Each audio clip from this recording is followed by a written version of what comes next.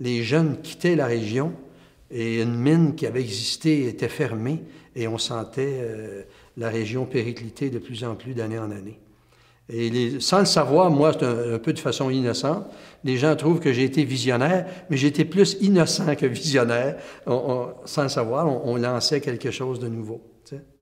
À l'origine, Baie-Saint-Paul, on appelait ça le paradis des artistes.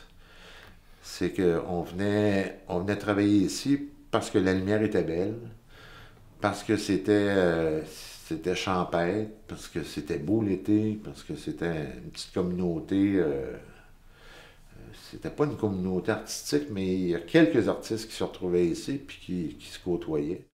On a encore notre réputation, on va toujours l'avoir, notre euh, réputation par rapport au figuratif, par rapport à la présence de peintres qui veulent faire du paysage ici. C'est là, mais là, on allait beaucoup plus loin, on faisait élargir ça euh, de beaucoup. Et ça, ça a été une, une retombée euh, incroyable parce qu'il y a des critiques qui sont venus ici, des amateurs d'art des et des gens, et des professionnels.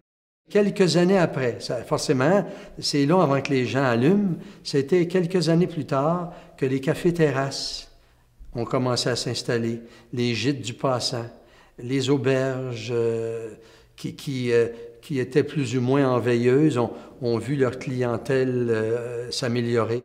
Et je pense que tout ça, sincèrement, est dû aux galeries d'art, au symposium et à, la synergie qui s'est installée entre les deux.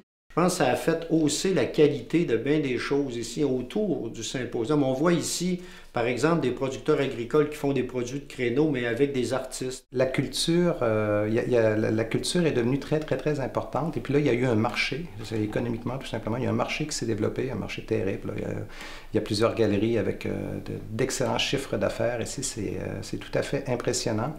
Et puis ça, ça a amené un public, un public, ça a ramené un public peut-être, qui, euh, ont redécouvert une, une, région magnifique. Et puis, euh, et puis ça ne s'est pas arrêté là, avec euh, les, les, bons restaurants, produits du terroir, tout ça. Puis ensuite est, revenu quelqu'un du coin qui est revenu ici, qui a eu l'idée d'acheter une montagne et puis de développer un, un centre de ski qui, hein, qui où tout, tout, le monde a le goût d'aller. Là on n'a pas de pétrole, on n'a pas d'or, on n'a pas de diamants.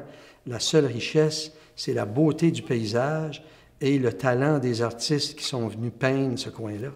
C'est bien évident que d'avoir un événement en art contemporain dans une municipalité de 5000 habitants, euh, qui est quand même une municipalité assez rurale, assez traditionnelle, il ne faut pas se le cacher, qu'on puisse avoir un événement comme celui-là pendant... Euh, au-delà de 20 ans à l'époque, 20, euh, 25 ans, là, euh, euh, c'est, quelque chose d'assez extraordinaire. Si par incidence et par conséquence, le symposium a un effet de développement économique, tant mieux. Puis je pense qu'il l'a effectivement.